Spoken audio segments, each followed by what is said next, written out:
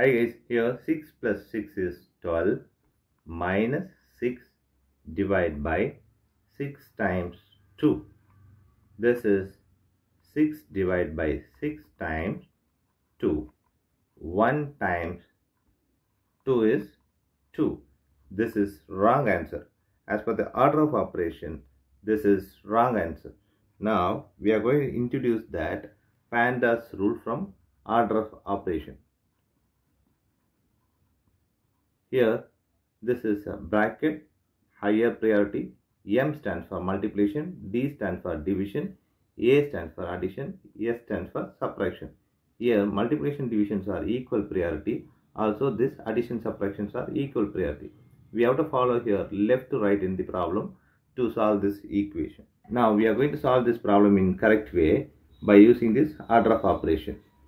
As per the order of operation, PEMDAS, the bracket is higher priority. So we have to complete this first.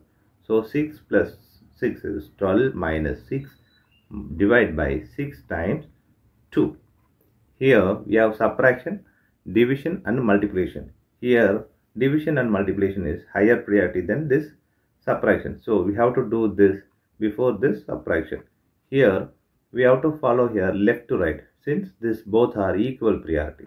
So left to right is this 12 minus 1 times 2. Here we have subtraction and multiplication. Multiplication is higher priority than this subtraction. So 12 minus 2. Here 12 minus 2 is 10. 10 is the correct answer here.